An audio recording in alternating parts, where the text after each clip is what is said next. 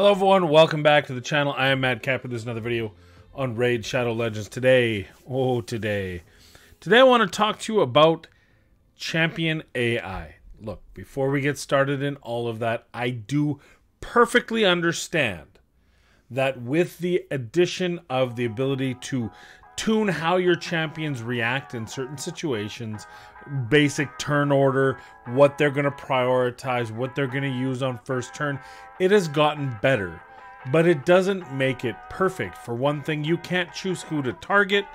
For another, you shouldn't have to. I need 3,000 slots to be able to program every champion's uh, default AI. And what I'm wondering is why didn't they just offer a champion level default AI tweak rather than having to build teams? I do, do not get me wrong.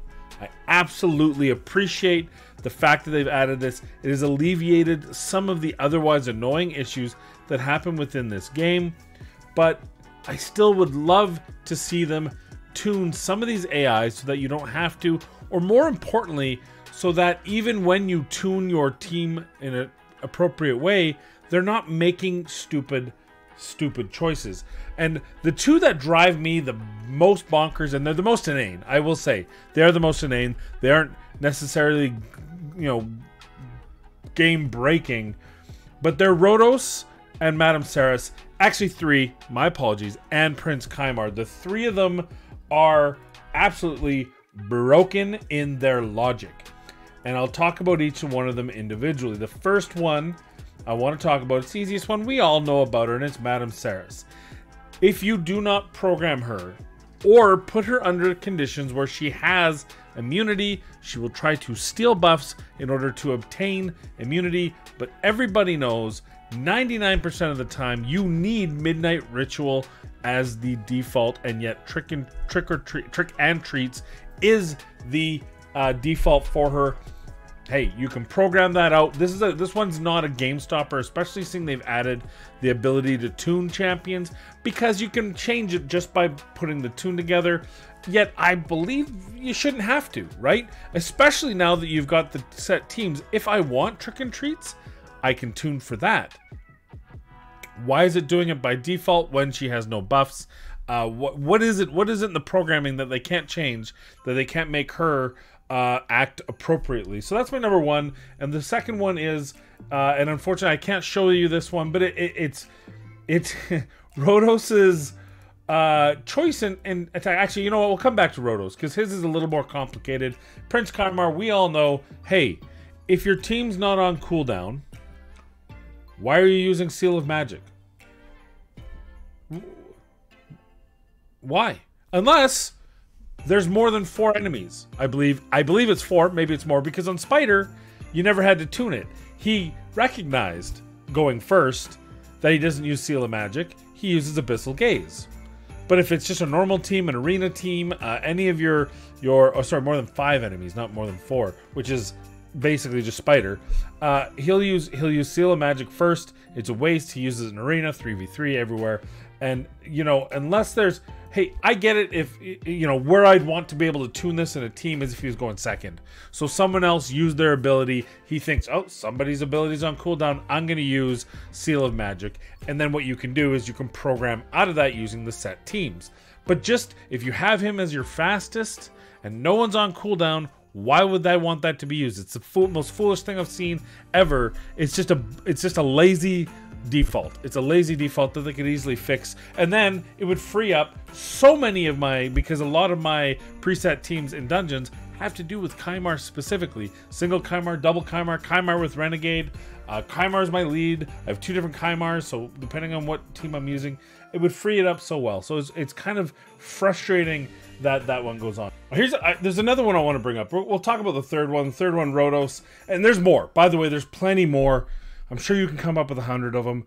But these are situations that sometimes even putting them in a team doesn't fix. And Rotos is one of those.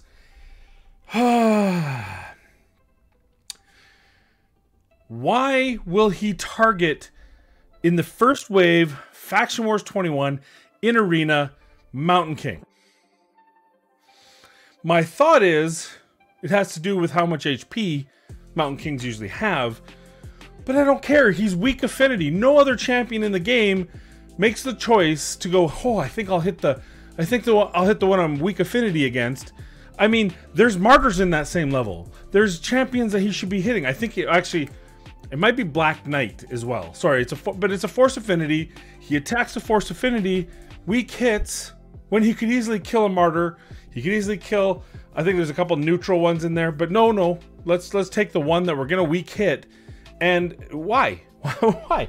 In the arena, it's mount. It's always Mountain King. I always see it. You attack the Mountain King, even though there's other champions available.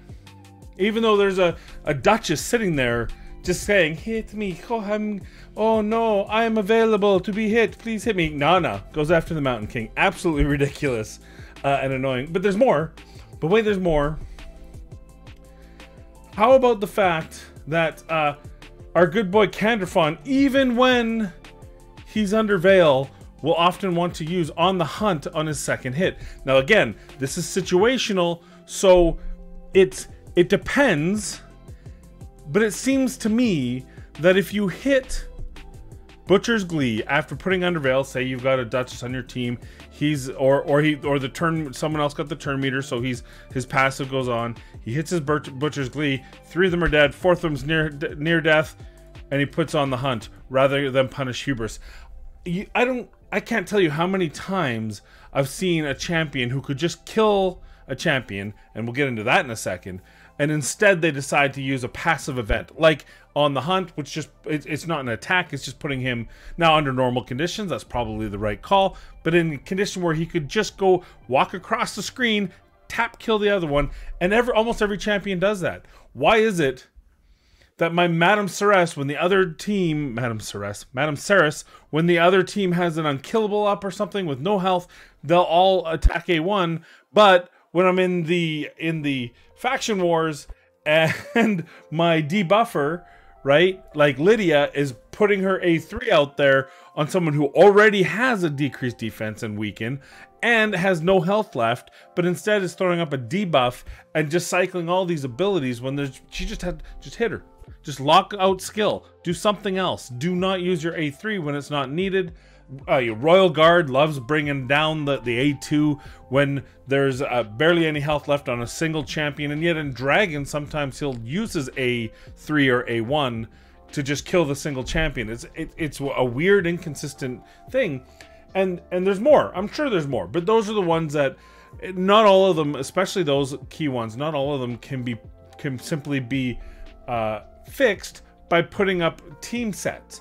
Now I get putting team sets with specific order turnaround that's great, and I also know that they're going to be bringing in the new year the ability to do it per wave, which will be really good, especially niche things like the Fire Knight, where waves you want one behavior, the boss you want a different behavior, and that's great. But I still have to wonder how it is you cannot lock out champions' stupidity. Um, you know, you still can't tell them who to attack.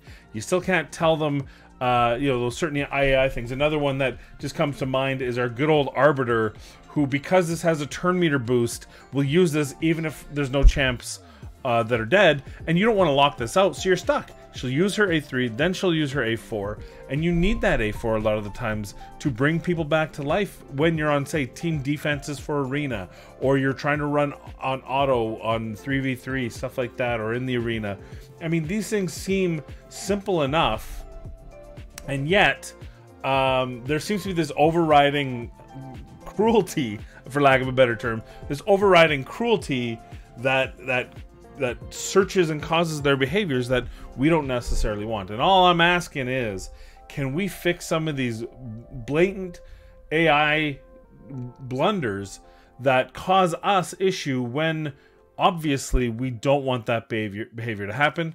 Number two uh, and that's even with ones like i said even ones that can be programmed out. If they're simple like madame Serris, i still don't understand why you don't just fix madame Serris to the way that 99.999 percent of the community wants it and then if we want to do it the other way then we can create the team because there's more instances i promise you where you want madame Serris to use her a3 than a2 and so why isn't that the default and if we need her a2 over her a3 for whatever reason there might be, then we can make the choice to do the other way. Then I don't have to have 12 teams that are pre-programmed just with Madame Serris instead I get to have one team in case of that that niche case, right? Like I think that makes sense to me.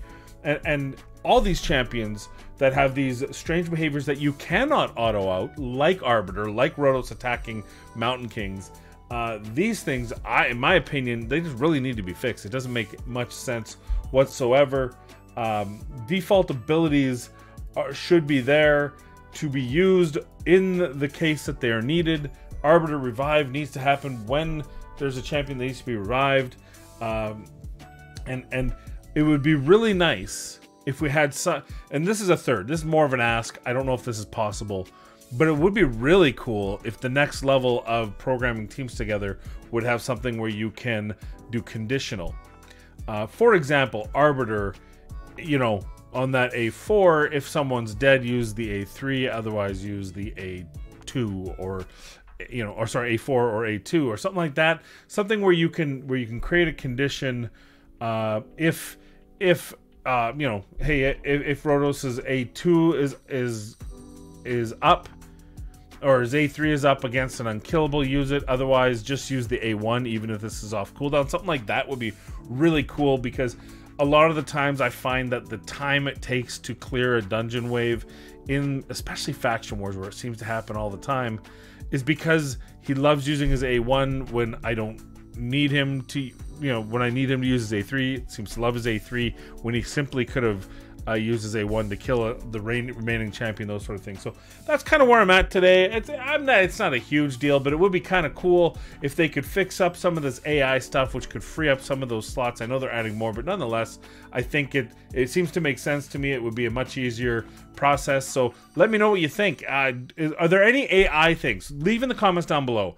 What champion does something so screwy that even the team built, the pre-built teams, you cannot stop it from happening? Let me know in the comments down below. Other than that, thank you very much. We'll hopefully see you tomorrow for Friday Night Lights. Uh, I'm on Twitch enjoying some bevies and having a good time. Other than that, I want to thank you. Please be safe, be kind, and we'll see you in the next video.